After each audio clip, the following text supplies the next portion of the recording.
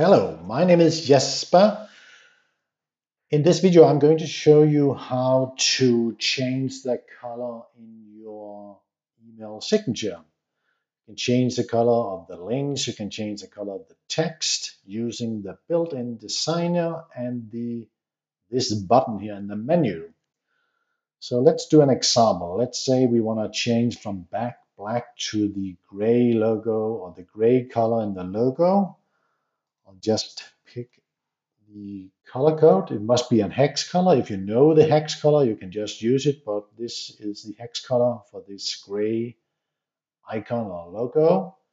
So now it's copied. So first I'm going to change the link color. Click on the text, more colors, paste, switch. So now it's gray.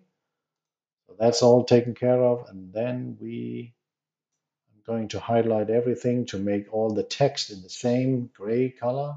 Click, more colors, paste, and click here, and done. So now all the text, including the mobile link, is all in the logo gray color. Thanks for watching.